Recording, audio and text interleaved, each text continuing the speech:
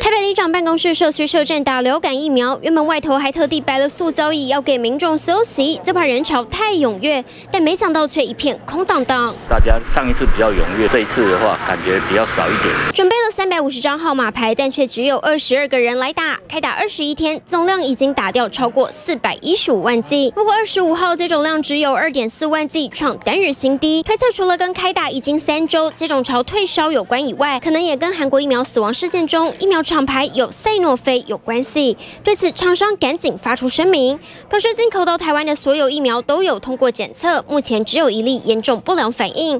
再加上韩国当局证实死亡案例跟疫苗接种无关。虽然新加坡超前部署停打，但双方密切合作中，希望尽速恢复施打。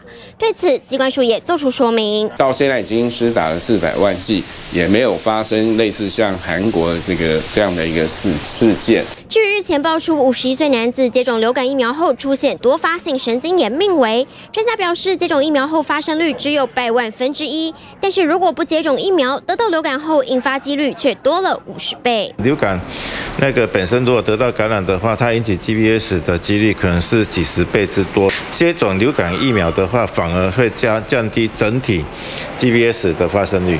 疫苗风波频传，卫福部也赶紧要求国内正在进行新冠肺炎疫苗临床实验的厂商，将受案人数从一千三百人增加到三千人，而且必须追踪一个月，严谨应对，就怕流感疫苗之乱重蹈覆辙。在杨世瑞、黄家伟、方志泰报道。